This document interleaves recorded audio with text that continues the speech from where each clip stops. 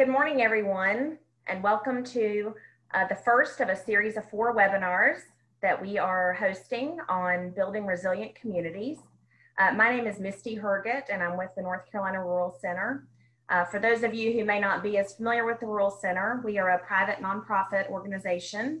Uh, we have been around for 33 years, and our focus is economic development uh, and helping our rural communities across the state, 80 of those communities, to uh, strengthen and, and build upon uh, their, their strengths with economic and community development. Uh, some of our focus areas at the center are uh, leadership and community engagement, research and advocacy, and our business lending programs. And for more information on that, you can visit our website at ncruralcenter.org. Again, we are thrilled to have you all join us today for our first of four webinars. Uh, today is going to be focusing on uh, laying the foundation, key concepts, and the why to importance of resilient strategies. I want to thank the Red Cross for being a generous supporter in this series of webinars. Uh, if you want more information on the three additional ones, uh, you can visit our website as well, again, ncruralcenter.org for more information. And we'll also uh, provide some more details around how to sign up for those at the end of the webinar today. Uh, while we know uh, for some of you, resiliency may not be as familiar of a concept. Uh, we know for many of you uh, that it is and that uh, rural individuals and communities are uh, consistently innovative, resourceful, and resilient, uh, whether it be with natural disasters, economic disasters, a pandemic, so on and so forth. So today we're gonna, our focus is gonna be on natural disasters. Uh, one other announcement I have that's uh, kind of a continuation of this work that we are very excited at the Rural Center to be a part of. We are uh, have recently formed a partnership with the North Carolina Office of Recovery and Resiliency uh, to launch the uh, Resilient Communities Program, and this is uh, supported by Economic Development Administration. the program will be over a year and a half, focused on Florence and Michael disaster affected counties, and we will be offering training, a training program, as well as coaching uh, for local community and regional project teams to develop uh, projects around resiliency. So we're very excited about that. Stay tuned for more information on that piece. And I think we are ready to move to the next slide to talk about logistics for today. So as you all have figured out, I'm sure you're, you've been muted. Um, if you're having audio issues, you can use your phone. That tends to give a little better audio quality. Uh, at the end, we will offer time for uh, Q&A of our panelists, and you can submit your questions through the Q&A feature, and we will uh, feed those to the panelists to, to address those questions. Also, uh, one additional thing at the end of today's webinar, you'll be receiving a survey uh, to let us know, um, give us your feedback on, on how this went and how we can uh, continuously improve. So we'd appreciate if you could take a brief few minutes to fill that out. Uh, if you complete the survey, you will be entered into a drawing to receive uh, the Personal Safety Emergency Pack from Red Cross. Next slide. Also, if you are on social media, if you uh, would like to tweet about any of the information or content that you're hearing today, we would be grateful. Uh, the Rural Center has a Twitter account, as you can see here, Instagram and Facebook. So uh, if you would not mind tweeting and tagging us in those tweets, that would be great, or Instagram or Facebook. I'm just going to quickly walk through the agenda and then I'll introduce uh, our speakers for today. So we've covered most of the logistics. Um, we're going to begin with uh, one of my esteemed colleagues, Jason Gray, who's a senior fellow for research and policy at the Rural Center, to outline some critical concepts and definitions. Uh, and then we will hear from Dr. Kathy Dello, who is state climatologist and director of the State Climate Office at NC State University, uh, to talk about climate change in the state um, and how we how we address that, economic impacts, and then we will move into the Q&A session. Uh, and again, you will submit those questions at the bottom of your screen through the Q&A function. And with that, I'm going to turn it over to Jason Gray. Thank you, Misty. It's a, it's a great pleasure to be here. Um, this has been a an effort that we have been planning for for, for some months. Um, we, we've had a tremendous learning curve ourselves in, in, in doing webinars, as well as uh, in our partnership the good folks at the North Carolina Office of Recovery and Resilience to, to begin collaboration around how we can best serve rural communities, think through resilience strategies. Next slide, please.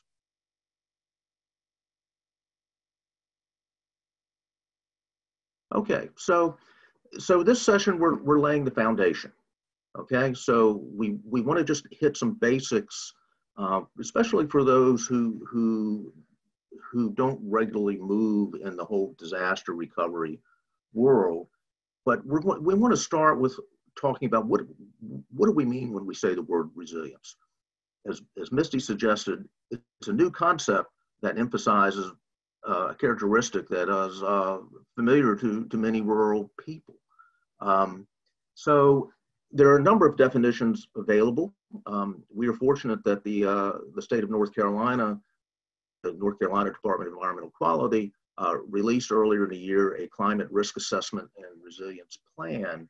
So I, I want to use their definition, and we'll, I'll talk just briefly about it.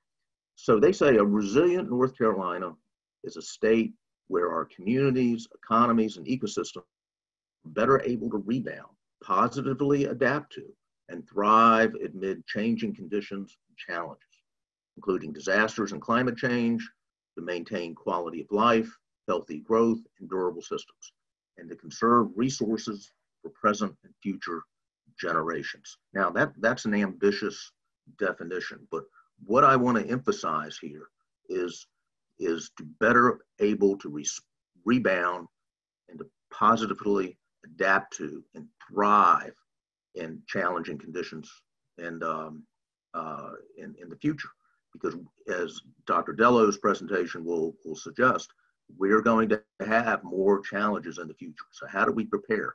Not just to rebound to, to the status quo of where we were before, but to prepare and to live and to have our communities be better. Okay.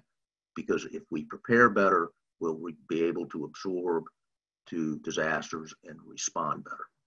Next slide, please.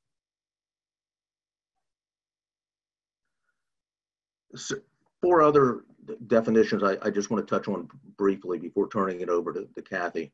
One is, is risk.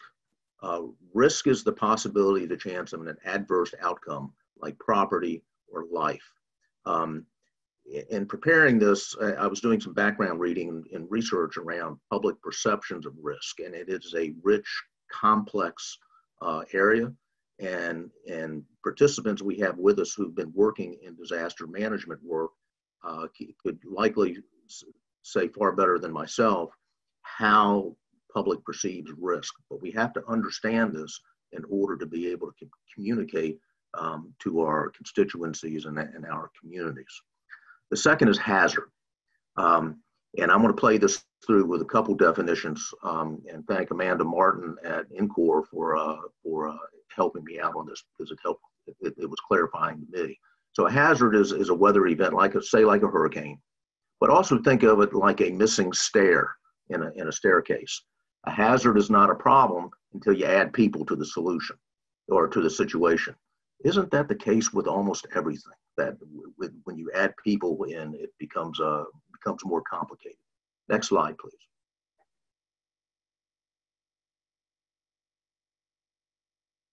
Okay, exposure.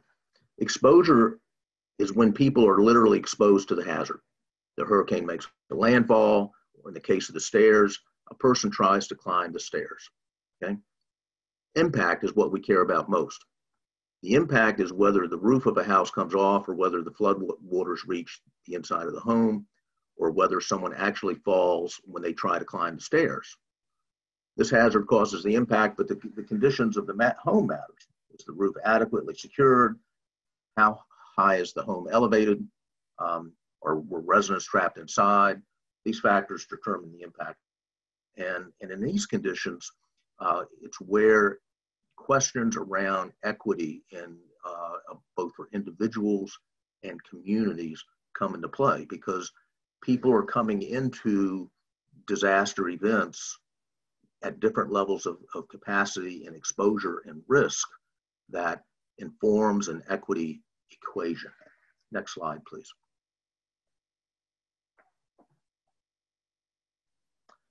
So as with resilience, there, there's there's a number of ways to get at uh, an equity definition, and I just want to give a shout out uh, to our friend Dr. John Cooper. Uh, he's a vice president at Texas A&M and a former UNC uh, doctoral uh, uh, doctorate recipient who's going to be focusing on equity and um, inclusion in disaster planning in our third session on I think October 21st. So so the definition I want to use here is, is from, from FEMA, Federal Emergency Management um, Administration. Equity is achieved not only when everyone is provided full access to information and assistance, but when interventions are taken to ensure that all are provided with the resources necessary to meaningfully participate, make progress, and benefit from hazard mitigation. As human beings, we each have unique needs that must be met to allow meaningful participation. To realize that vision, we must work in partnership with what FEMA calls the whole community. Next slide, please. So here, here's a graphic um, I really like. Um, we, we looked at a whole bunch of them, um, many which had a similar theme, but uh, I like bicycles. So, um, so I, I, I chose this one and, and I think it's it's illustrative to what we mean. So in the, the top of the graphic, you have uh, four differently able individuals or, or, or, four individuals with different characteristics. One who has a, a physical disability and cannot walk, uh, a very, but they all have the same size bicycle. So you have, um, you have the seven foot one ball center on, on that itty bitty little bicycle you you have um, another individual who's appropriately sized for the bicycle, and then you you got a little a little kid uh, who, who's on a bicycle that is way way way too big for them to be safely be able to ride. So that's equality. Everyone has the same kind of bicycle. Um, but equity is when you're responding to the needs of the people or the community with where they are at the starting point. So the physically disadvantaged individual uh, has a specially prepared um, uh, tricycle or four wheeler that gives them mobility. Uh, the large individual has an appropriately sized bicycle to their size. Um, the, the, the, the, third individual just, just get, gets to keep their bicycle because it, it works for them. And then the, the child has a bicycle that's it's appropriately sized. So that's a very good graphic that describes what we mean when we say the word equity and, and it requires that this is not a passive outcome. This comes from engaging with communities and having a conversation around needs. And, and in some cases, it, it, it also highlights that you cannot have equity without justice being a part of the conversation. Okay, um, people who are who've been disadvantaged by history or by their economic conditions or their race sometimes have to push back to make sure that they are fairly treated in, in, in an equitable situation. So equity is an outcome of having a just civil society. So again, for all of these, we could go into greater depth, but uh, I don't want to take any more time away from, from Dr. Dello because uh, she's got a powerful message to share. And I'll come back after um, she finishes her presentation to, to, just to share a little bit about economic impacts of, um, uh, around nat natural disasters. So with that, um, I want to I want to turn it over to, to, to, Dr. Dello. Her her bio is in um, is in the registration page. I'm not going to uh, dwell on it here. Uh, an enormously qualified individual, and and I'm so glad we stole her away from the state of Oregon. So Kathy, over to you now. Thank you. Thank you, Jason. I'm so glad to be here. Um, it's been a wonderful 15 months in North Carolina, if not the the year I had planned. But one of the things that I got to do before we were all sent into quarantine was meet Jason at a meeting last year in Wilson. And I think the the message that he just sent to everybody was so wonderful and powerful. I want to bring him with me to every single talk that I give from here forward. So Jason, you have a tall task ahead of you. But today I'm just going to talk about the climate science, uh, hotter, wetter, more humid North Carolina. If that's the one sentence you remember from this talk, then that's pretty powerful. That's what we're planning for in climate change, and that's what we're seeing right now. I direct the State Climate Office of North Carolina. We are at NC State University. I have a team of nine incredible folks who work on all aspects of weather and climate in North Carolina.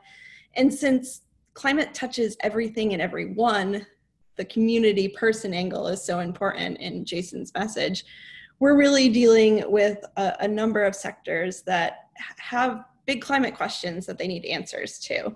So hopefully I will um, give you some answers during this talk, but you're always welcome to reach out and engage me at a later time. Uh, so next slide. Given that it is uh, 2020 and so many things are coming at us so fast, I like to give my last slide first these days. If you uh, hit mute after this, this is really the gist of my talk, that there are large future climate changes for our state if our current reliance on fossil fuels as energy continues. And that's not just North Carolina, that's not just you and me, that's not just the city of Raleigh, that's the entire planet. But we will see the impacts here in our state, and we are seeing them. We don't get the luxury of talking about climate change like it's a future thing anymore. It's here, it's now, and it's in our backyard.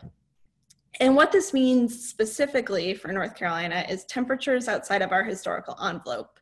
So we'll look at some historical temperature trends. I'll tell you right now, North Carolina's warmed about a degree Fahrenheit. We're, we're going to see much greater warming in the future um, if we do not change our practices.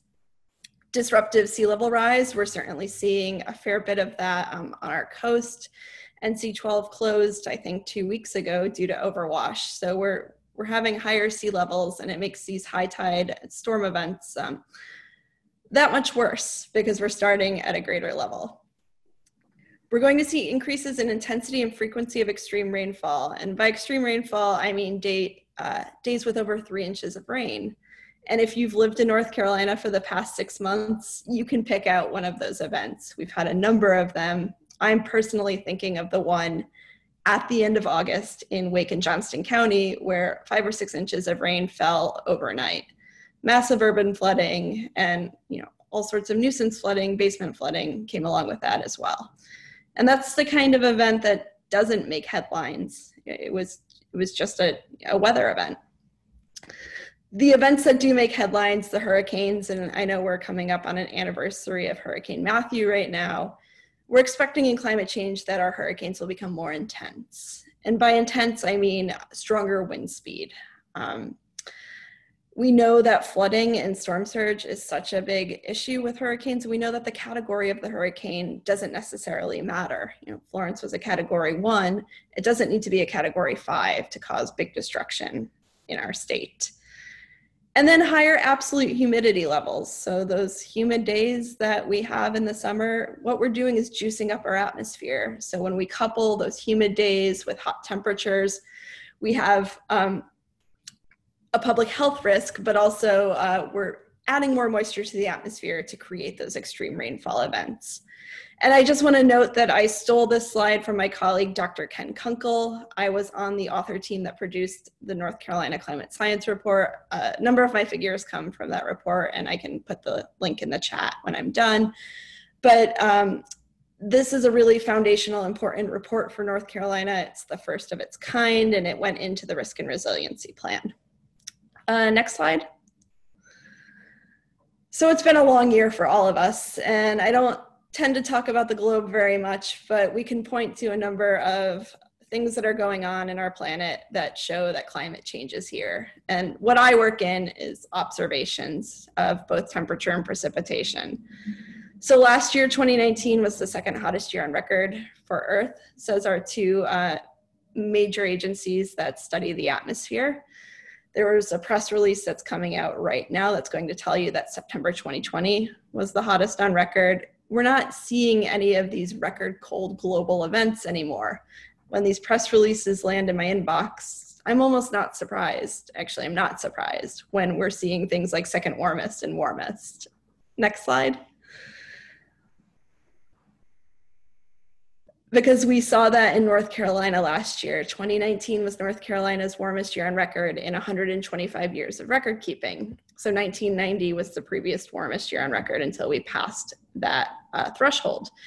And what I mean by record keeping is that we have a network of observers around the entire country who dutifully take observations of temperature and precipitation. So using a thermometer and using a rain gauge, we're out there measuring these atmospheric and environmental variables like we have since the late 1800s. And we have this really rich data set that we can see the trends in our climate over the US from. And in North Carolina, we rely on this data set pretty heavily. So this data set told us that it was the warmest year on record. And it's not really a surprise to many folks. We had a couple months with below average temperatures, but we were just consistently warm. I'll expand on this a little bit more, but where we're really seeing the warm temperatures isn't necessarily those hot days, which still give me some trouble being new to North Carolina, but it's the hot nights. Uh, next slide. Uh, the first rule of weather school, I set out to be a meteorologist and learned that I was bad at forecasting. But the first rule of forecasting is to look out the window. And you'd be surprised how many times that doesn't happen. But the first rule of being a state climatologist in a, a new state is to look at a map. And the reason we love living in North Carolina and so many people come to North Carolina is that we have so much to offer in terms of a diverse topography. We've got mountains and we've got a beautiful coastline, diverse communities. So you come to North Carolina and it's not homogenous. We have generations of folks who have lived here for, for hundreds of years in their families. And those are very important, very crucial. And I think Jason did a really good job of explaining that.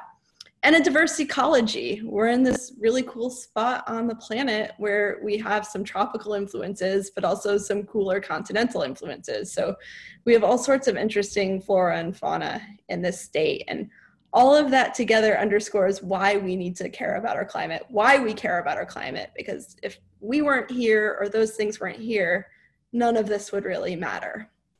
Uh, next slide.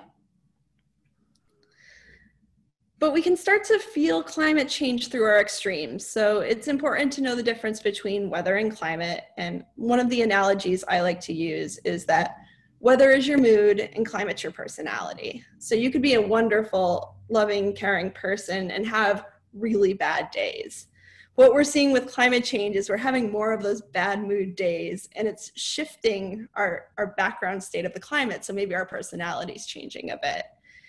And aside from the temperature record that we set in 2019, we set two new state precipitation records in 2018. And I'm going to include South Carolina because they're just across the border.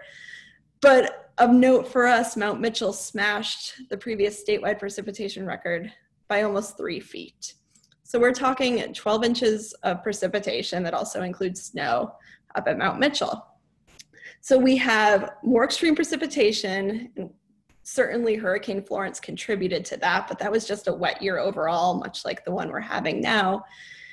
And those add up to create these annual temperature records and annual precipitation records that we're seeing. So, you know, we can start to pick out events and say, we don't say did climate change cause this, but did climate change make this more likely is the question that we're asking and answering. Uh, next slide. So I like to show this before I show any sort of temperature graph. These are climate stripes, and the idea came from my colleague, colleague Ed Hawkins in the UK. And what this shows is just every single year has a bar and if it was cooler than the historical average, which is 1971 to 2000, it gets a blue. And if it was warmer, it gets a red, a darker red if it was more so. And you can see that over time, this starts in 1895. You know, we had cool years, we had warm years, bounced back and forth. It warmed up in the 1930s, cooled down in the 1960s. But toward the end, you see a preponderance of these dark red years. That's not to say we don't have cool years and cool months. They're not the coldest, but they're still there. So climate is not a stair step. Climate is not linear. If it were, my job would be a lot easier. But just because last year was our warmest year on record in North Carolina doesn't mean that this year will be warmer than that one. Uh, next slide. So this comes from the North Carolina Climate Science Report. This is the official figure showing that North Carolina has warmed about a degree Fahrenheit in the recent past. I can tell you the planet has warmed about two degrees Fahrenheit. So we're a little bit behind in part due to a cool period in the 1960s, but we have quickly caught up. Our warming has accelerated. We set that warmest year on record. 2020 is on pace to not be the warmest year on record, but another warm year for North Carolina. And I made the point about this not being a stair step and this not being linear. But if you're a betting person, you're betting on warmer than normal years in our state now. And I'm going to talk a little bit about the future, but when you say one degree Fahrenheit, Kathy, is what you're probably asking me, what's the big deal? If I tell you it's going to be 71 degrees tomorrow and it was 72 degrees today, you're not going to do anything differently. But what this is, is that longer term average. So we're adding up all those bad mood days, shifting the background state enough that it has changed a degree or two degrees. And one of the analogies that I've always liked to use, but it's much more pressing right now, and people are definitely thinking about it, is your body temperature. So a body temperature of 99 degrees doesn't cause you alarm, but 101 is certainly something that you start paying attention to. Uh, next slide. This is a graph from NOAA, and I just pulled it out. It's showing maximum temperature over the historical past. And when you average this out, there's no trend in maximum temperature. So no trend in hot days themselves. In the 1930s were a very warm period across the entire US. And then they jump up uh, toward the end of the record. But what we're seeing is you know, a fairly flat trend. This will change, spoiler alert, in the hot days. It's North Carolina, it's hot here. Um, one of the things I like to point out is that we didn't hit 100 this year. We're looking at a warm year, but we're not seeing a ton of those extreme hot days right now. Uh, next slide. Where we are seeing the trend is, like I said earlier, in the minimum temperature. So our overnight temperatures have increased dramatically over the historical past, especially in the past five years.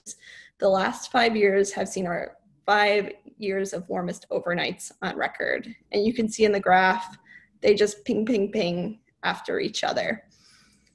This has a number of implications. Um, it's not just you know that you don't take a cardigan with you when you go out on a September night, but there's a public health risk here if you work outside all day in those hot temperatures, which are hot, even if the trend is fairly flat, and then you go home and you live in a place that doesn't have sufficient cooling or you don't have access to cooling, your body's already stressed.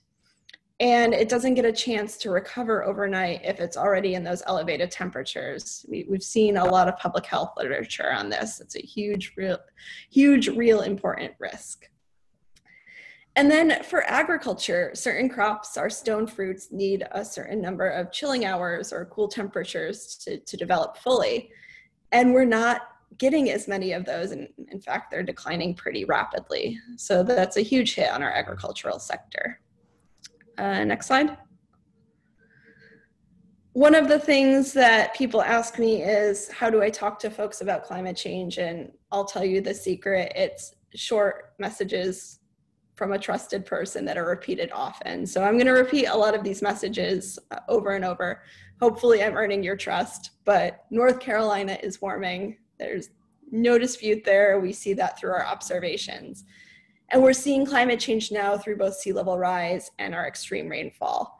But the other things are going to increase in the future. We'll talk a little bit more about that. And we will see disruptive sea level rise in our state uh, I talked to a reporter last week who broke the state down into the three obvious areas the coastal plain, the Piedmont, and the mountains, and went through each one and said, What are the big impacts in these areas? And I said, Up front, I'm going to tell you flooding for all of them. So we know that flooding isn't just caused by hurricanes. We've seen flooding this year from cutoff lows, which are just these uh, low pressure systems that just spin over our state and dump some rain. We had a few of those in May that caused a fair bit of damage and flooding on the coastal plain. And we've seen flooding up in our mountains as well. We just came off our 15 wet, 15th wettest September on record in North Carolina, and Asheville saw its fifth wettest September. Our strongest hurricanes are expected to become stronger. The star is there because I talked about the difference between wind and storm surge. And the people part of this is so important important. Like jason said there's increased urbanization in the southeast and that will enhance climate vulnerabilities. More people moving to our urbanized areas maybe living in a place that lacks sufficient shade or cooling. And then rural communities will face unique challenges with less adaptive capacity. So i know that's why many of you are here and many of you are experts in the, the challenges that rural communities face and then climate change is being added to that. Uh, next slide. So we've mostly been talking about the past and now it's time to talk about the future. So climate scientists have to study the planet that they're living on. So we don't get the luxury of having a laboratory where we have our experiments running. Our experiments need to run somewhere else because we're on the planet. So we create a planet in a computer and we do this uh, through understanding how the ocean and the atmosphere works, the equations that, that guide the fluid motions of both things. Spent a number of years learning all those things. And we put that into the computer.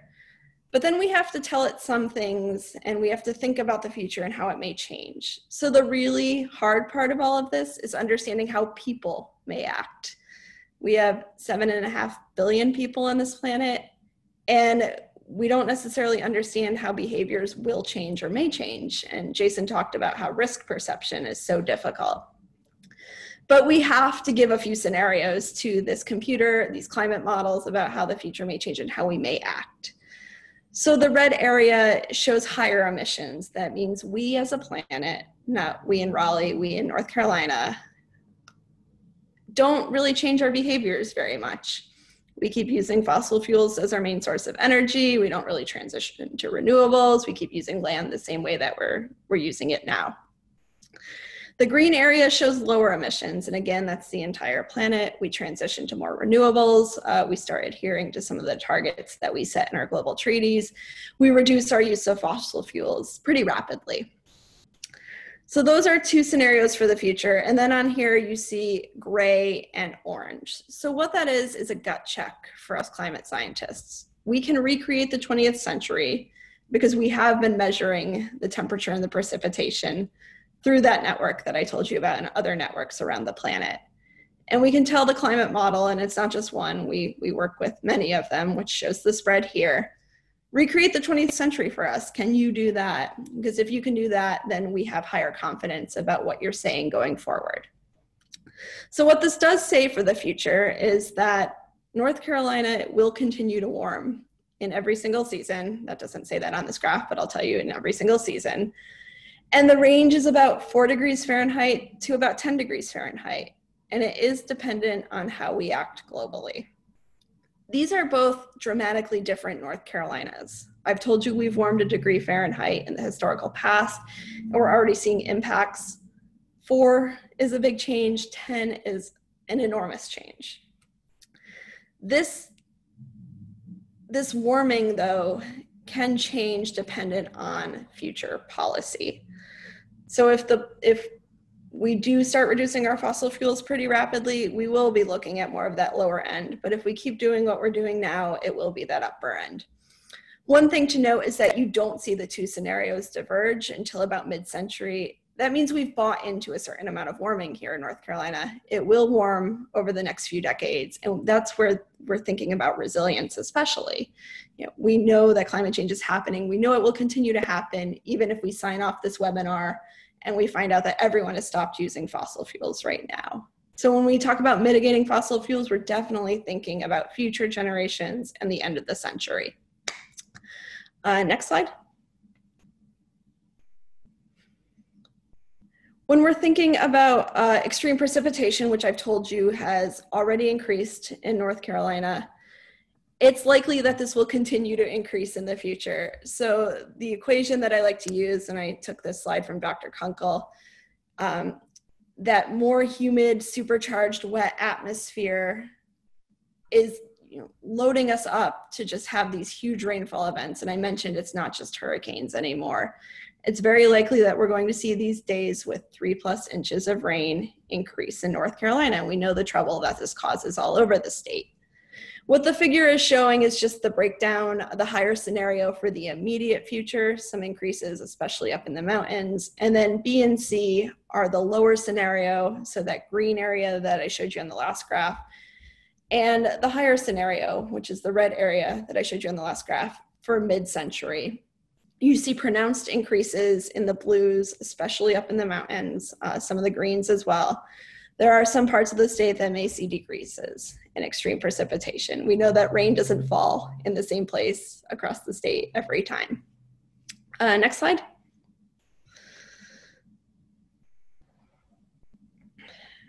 Thinking about uh, the cornerstone of our economy, or one of the cornerstones of our economy, is our agricultural sector we have a number of things that grow in North Carolina very, very well and are suited to North Carolina's historical or current climate. You know, thinking about our sweet potatoes and our peaches and all the wonderful things that we grow here. So when we look at our cold hardiness zone from the historical past, I just picked Greensboro for this map, but we're looking at about a zone seven, zone 7B, um, a certain amount of low temperatures that are accessible for these crops, certain things that grow very well. Uh, the next slide, please. Won't be much of a surprise. So I've told you North Carolina is going to warm in the future in all seasons. We will jump, we're projected to jump a whole zone in our cold hardiness zones. So many folks, you know, grow things because they, they know how to grow them or been accustomed to growing them, or like I said, are well suited for North Carolina's climate it may be that folks are thinking about planting different crops or moving into different crops, but understanding that our infrastructure and our systems are in place for very specific things. And it's not just a matter of planting something new. And then in thinking about what can grow and what can't grow, there are the things that we love and need and want to live, like our food supply, but then there are things like weeds that may not exist in North Carolina now or may not necessarily thrive in North Carolina or plant diseases that may have a better chance of survival with these warm temperatures. So thinking about, okay, maybe there's an opportunity here to grow something new, but also how are we going to deal with these new pests and diseases and weeds? Uh, next slide. I talked about the hot days up front, how they haven't changed over the historical past. They're projected to change into the future. So that's bad news. I saw somebody uh, drop something in our chat about humidity, but thinking about the days with the heat index over 100 degrees Fahrenheit, that's a hot day. We had a number of those this summer. Um, those are all projected to increase across the state of North Carolina in the future. So what this map is showing is the mid-century for that higher emission scenario minus the historical. And every bit of North Carolina on here is showing an increase in a number of days with the heat index over 100 degrees Fahrenheit. A little bit less in the mountains. I know I personally like to run up there and cool down, but increases along the southeast coast and in the, the very urbanized areas, Raleigh, Durham, and Charlotte. Uh, next slide. And I talked about the public health risk up front. Our folks who are working outside, you know, folks in poorer communities, folks who don't have access to sufficient cooling, are incredibly vulnerable in a warming climate. This is a public health crisis.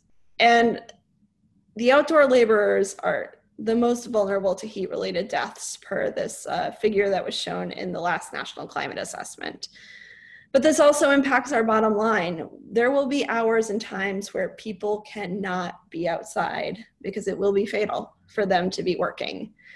And you can see on this uh, figure, there's a projected change in hours worked because we will not be able to send people outside to work that affects our bottom line, that affects our food supply. And if we're thinking about the cutoff being when it's fatal to send people outside, we have folks working outside now in conditions where it is making people sick. Um, and this is by the end of the century in a high emission scenario. Uh, next slide. Hurricanes are the things that get a lot of press and rightfully so. Um, the hurricanes will be wetter because we're supercharging the atmosphere, the oceans are warmer, likely to have stronger winds that come with them. We don't know if more hurricanes will hit North Carolina. So while we're a fairly large state on the scheme of a planet and at the scheme of a and size of a global climate model, we can't necessarily tell if more hurricanes will hit us in the future. But everybody on this call knows that it really only takes one hurricane.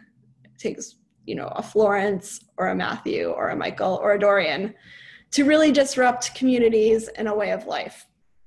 This figure from the uh, North Carolina Climate Science Report just catalogs the total number of tropical events that we've seen in our state, you know, uptick in the late 1800s, certainly a lot in the early 2000s, but again, it really only takes one. And the things that we need to be concerned about in hurricanes, the flooding, the storm surge, the intense precipitation that comes along with them. Uh, next slide. Uh, sunny day flooding or nuisance flooding is already occurring in places like Wilmington. You've certainly either experienced it or have heard, heard of somebody who has. We're looking at about 70 days a year now. And this is the kind of flooding that floods your basement or floods your car, means you can't go down a road, um, cuts off access to certain places. It really is nuisance. And in a warming climate, the projected number of nuisance flooding days for Wilmington is projected to increase pretty significantly in that higher emission scenario. So what this graph is showing is almost every single day in a higher emission scenario by mid-century, Wilmington will see nuisance high tide sunny day flooding. And then in a lower emission scenario, it's certainly less, but there's still some of that there. The seas will continue to rise for the next few decades. Uh, I think this is my last slide coming up. So North Carolina is rapidly changing. We're in a different North Carolina. Folks like to ask me if this is the new normal. The new normal is a checkpoint right here we're going to move into another new normal and another new normal. And this is all dependent on uh, global policy. If we can reduce our reliance on fossil fuels, then we can mitigate some of that warming and some of the impacts. But this is also why it's so important for us in North Carolina at the community level to think about resilience because we can't control the entire planet. And just quickly, because I know I'm running out of time, that means temperatures outside of the historical envelope. I've told you North Carolina will warm, has warmed one degree, and then in the future, by the end of the century, anywhere from four to 10. Disruptive sea level rise. We talked a lot about extreme rainfall and how it's already occurring through a number of mechanisms, either thunderstorms, cutoff lows, nor'easters, or hurricanes, uh, more intense hurricanes, so stronger winds and then higher absolute humidity levels, which is a real drag if those August days bring you down. Um, and I think I have one more slide. Yeah, so thank you very much. It's incredibly uh, difficult sometimes to talk in this Zoom world because I would rather be in a room with you and chatting with you afterward. And I know I'm going to take some of your questions, but thank you for your attention. I know that many things are competing for it these days. I would love to hear from you. That's my Twitter handle. Um, reach out to the climate office if you need any assistance in understanding climate or just want to talk through some things. Um, my door, my virtual door is always open. So thank you again, Jason. And thank you, Kathy. Um, well, that was that was fascinating, uh, slightly harrowing, um, I, am reminded, Kathy, uh, I, I, heard the phrase somewhere that um, the future is already here. It's just not evenly distributed. Um, but I think we're seeing in North Carolina that um, that the effects of, of, climate change that we, we see globally is being pretty well distributed here in, in North Carolina. Um, as I suggested earlier, we have some some equity issues around that in terms of some people being affected more based on where they're living and their ability to respond. So what I want to do is, is close out quickly here with a couple slides uh, before we go to Q&A to talk um, the economic impact. So I, I've been on a learning curve um, to understand the, the issues rural North Carolina is confronting. That's part of my my, my job. I, I, am very, very fortunate in that, re, in that respect that I can, I can study and, and, and, and learn new things. So in the course of my study, I came across this table uh, that's in a state climate summary um, webpage that um, the National Oceanographic and Atmospheric Administration does. And in the email update that went out to all the registered participants Monday, um, we have a link into that that North Carolina part of that that summary. But but this this table jumped out at me. Okay, so this is looking at um, over time from 1980 through 2000. Uh, the number of natural disasters, drought, flooding, freeze, severe storms, cyclones, wildfires, winter storms, maybe even even locusts um, that that had an economic impact of over $1 billion. Okay. So there are a couple things to point out here, and, and, I, and I wish I had a, if I, if I had control of the screen, I would point out that in the 1980s, if you look at each year, um, you see one point, uh, okay, there we go, thank you. Um, that, that's the average events per year if you go down to the 2010s, 2010 to 2019, you see the frequency rise to 3.3. Um, that's a big jump. That's a big jump. Okay, so and now let's look at the the, the economic impact of that. If, if you look over to the to the far right column, percent of total costs. Okay, okay. Again, this is again from 1980 through 2020 we see that in the last five years, 44.5% of the total cost of the economic impact has occurred in the past five years. That's an astronomical figure, and it really points to not only the increased frequency, but as Kathy suggested, to the increased intensity of the damage. Again, Hurricane Florence was a measly little category one hurricane. But we measured that that on the on the Saffir scale by mainly by by wind. Okay, but that storm hung around for days, and it and it inundated us. So so to me, this was just reinforced what the economic impact and the economic reality is of the climate change we're beginning to see and the vulnerability that so many communities in North Carolina are, are going to experience. Next slide, please. Okay, so I just showed you sort of estimates for total economic impact. Um, and in here, it's, it's a little bit different number. It's looking at what the actual federal and state economic recovery response has been to hurricanes uh, Matthew and Florence. Again, remember, we had these two storms happen in a, in a very short couple year interval. So co- collectively, it was three and a half billion dollars. Um, now that that's a huge amount of, a, of, an allocation from you know budgets that are are, are limited, that are that are fixed. Um, and I would also point out again from the just that economic impact. I mean that was between 50 and 100 billion dollars.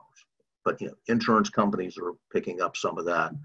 Uh, people who don't have insurance are having to pay it out of pocket, or, or they're just absorbing the damage. So the, the fiscal ability of the federal government and the state government to be able to respond to the totality of economic um, impact from extreme weather events is is a fraction of total impact um, as great as it is. So, as with everything, the, this has an economic consequence.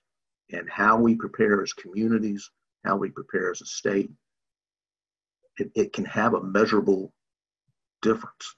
So, I will close on that. Um, and I am um, I'm pleased to turn it back over to my my wonderful colleague Misty Herget, who's going to to uh, to to follow through on our Q&A period. I've seen that we've got we've got seven questions queued up, and I've taken a peek at them, and they're quite good. And I and uh, uh, and I look forward to for myself and, and especially uh, Dr. Dello to uh, to answer your questions. So thank you.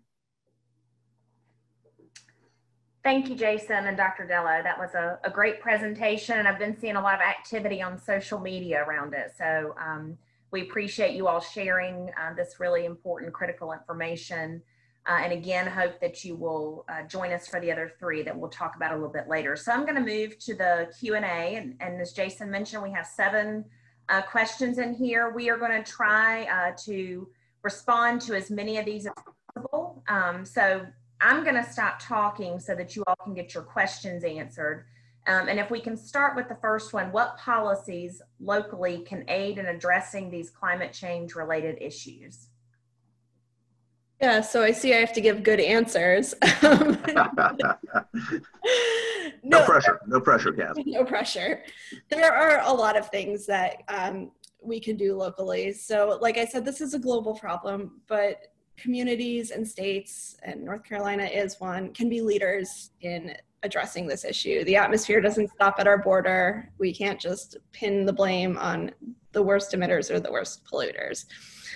There's a lot of transportation planning that can be done to help uh, reduce vehicle travel, um, make bike lanes, make streets safer for folks to use alternative forms of transportation. We can think about subsidies for solar and wind um, and other renewable energies. You know, there's a lot that can be done. Um, everybody wants to know what the most what they can do for climate change. The most important thing you can do is vote. So exercise your right to vote and work in your local communities, work in local politics and local planning. Your voice is so necessary and so needed in those areas.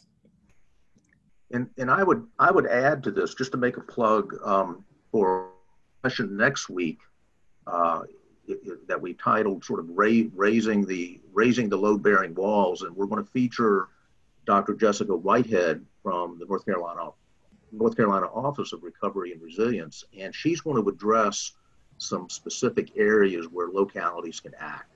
You know, for example, in natural infrastructure that can help um, reduce flooding um, some strategies around housing, some strategies around transportation.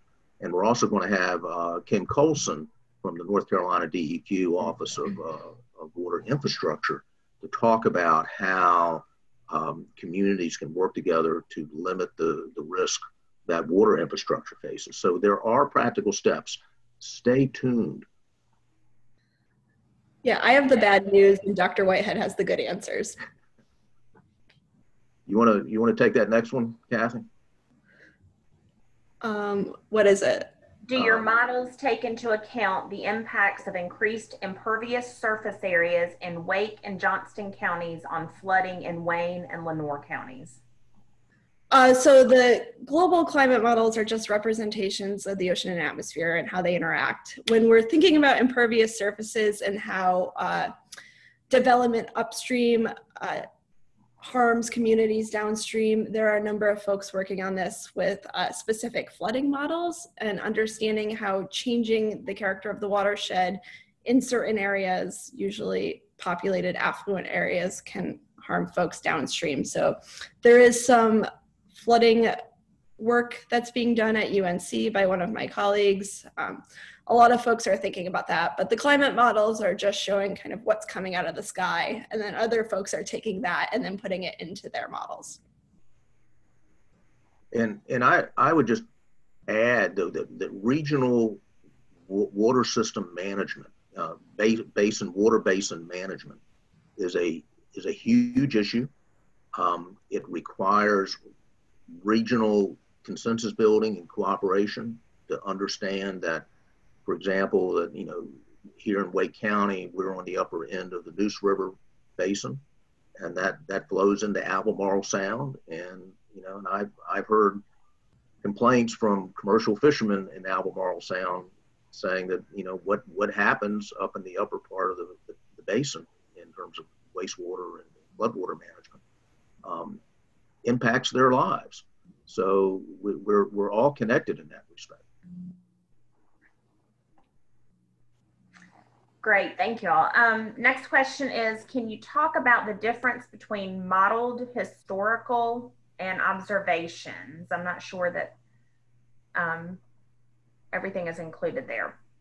Is that clear? It's clear. Uh, so observations are you have your thermometer and your rain gauge, and something happens that day, you get a little bit of rain, or you go out and measure the temperature that day and you record it. So we've been recording those over time, and that's how we get the observations. Modeled historical is taking that planet that we built in the computer, knowing what we know about the ocean and atmosphere, knowing what we know about the historical past, and telling it to recreate it. So running essentially a modeler would yell at me for saying this, but running it backwards, telling it, okay, not so much the future, but try to recreate the past based on the information we've given you about how the ocean and atmosphere work together. All those million equations at one point I knew very well. Um, and that's a gut check for us because if it reproduced something that was completely off from those observations, those measurements that we take, then we wouldn't think very much about what it was saying for the future. But they, they've been calibrated and do a pretty good job at representing the past. Great, thank you. Uh, next, we have a, a, new director of a long-term recovery group based in Wilmington um, who would like to learn more about physical infrastructure side, especially best practices for hazard mitigation. Are there recommended uh, resources for this kind of information, state level or regional entities, higher education expertise, etc.? Jason? Um, again, I, I, think I think Kathy, I mean, excuse me, uh, uh, Jessica Whitehead um, next week will be able to to address that. Um, I think there's a lot of work being done um, nationally through the American Planning Association, looking at best practices around hazard mitigation. Um, I think we can we could probably follow up on this a little bit more, and, and I think I'm going to refer this question on to, uh, to, to Jess Whitehead and and Dr. Amanda Martin at uh, who I think are, are, are, would have a far higher level of a uh, um, far stronger response on that than, than I could. But it's a very good question. Thank you for asking because it's it's the essential how-to questions we we've got to address. Um, and Dr. Dello, you mentioned impacts on agriculture, which is the state's largest economy. Are there examples of other major industries in the state of, high, of higher risk if they do not develop plans for resiliency? Yeah, uh, that's a great question. Almost all of them. I'm thinking of the tourism industry, which is a huge part of our economy as well. Um, thinking about some of these large companies that are setting up big uh, server warehouses that need water for cooling. I mean, climate really does touch everything, thinking about the insurance industry and the banking industry, which we have a fair bit of here in North Carolina. Um, I don't, I can't think of a single sector that is let off the hook by climate change.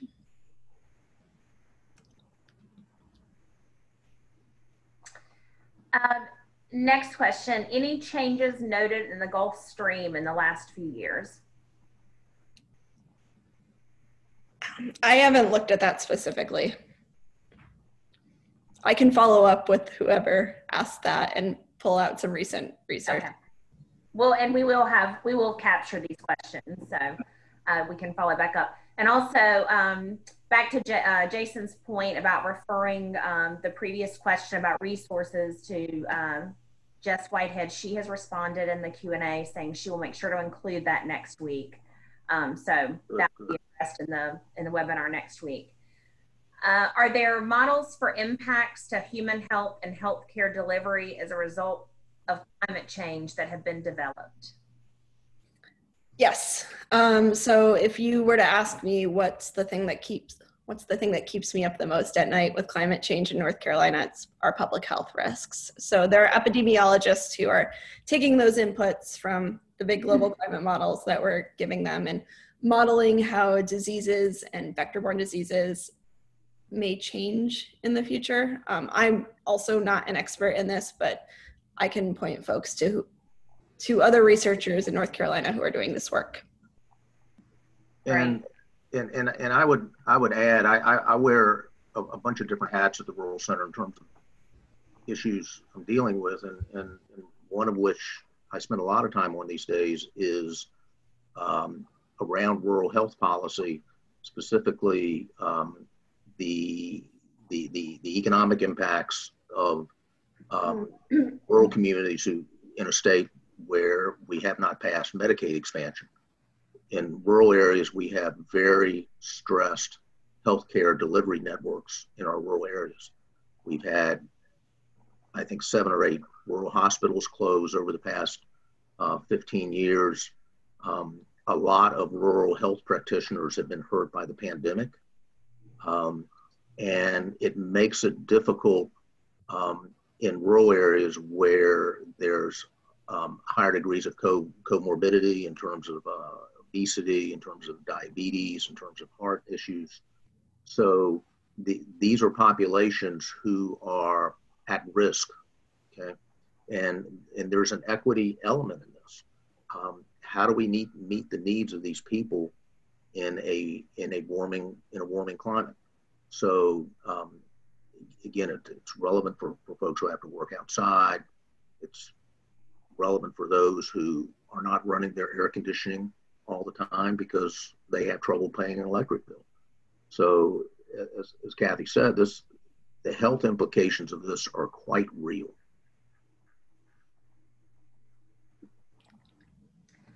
Uh, we have a, a couple more questions that have come in. Um, this one is um, an individual on the call is doing flood resilience research in Wilmington and looking at the hourly rainfall record to come up with new design storms and green infrastructure design guidance how much more frequently will these intense uh, category three or greater storms be? A rough estimate. Let me follow up with that person. okay, we will save that one. Um, also, just to point out to all of you on uh, the call in the Q and A section, there are also folks responding to some of these questions that um, could be of help and, and be a good resource for you as well. So uh, we don't just have questions in here. We have some some good responses and and potential resources for you. That's great. That's great. Um, another one other question that has just come through. Um, all citizens need to be aware of the information presented today. Do you have any plans available to make this happen? Um, I'm happy to go ahead and address this one. I was going to cover it at the end of the call, but yes, we will be sending out a recording of the webinar along with the slides um, by Monday to all of you, and you can feel free to share that. Yeah, and in the North Carolina Climate Science Report, uh, we added a two page, just plain language summary that anybody could pick up and digest the 240 pages of the report pretty quickly. So that's a good resource too. Okay, last call for uh, any more burning questions before we wrap up here.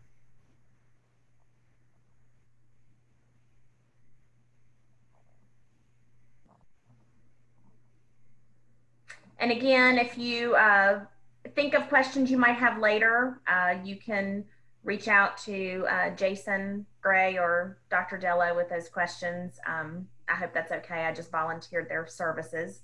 Uh, or any of us at the Rural Center, we're happy to try to uh, try to funnel them to the right person to get the answer. So thank you all again for your engagement and your participation. Uh, Jason, or Kathy, do you all have anything uh, you want to say before we wrap up with kind of the final logistics here? No, this was great. I look forward to the rest of the series, um, and it was great answering your questions and getting to chat with you, Misty and Gray, uh, Misty and Jason. Yes, thank you so much for joining us. Um, just to, a couple of follow-up items. Again, we really appreciate you all taking the time to to join us today. This is uh, really critical for us to think about as a state and to work together and, and get this right moving forward. So thank you for your time again. We do, as I mentioned earlier, have three additional webinars coming up this month that will all focus on building resilient communities. Our next one is next Thursday, October 15th at 11 a.m. And the topic for that one will be uh, lifting the load bearing walls, resilience strategies at work in your community. Uh, for all of these, you can visit our website, ncruralcenter.org. Scroll down, it's on the homepage, uh, and it will give you a lot more detailed information about each session, the presenters, and how to register.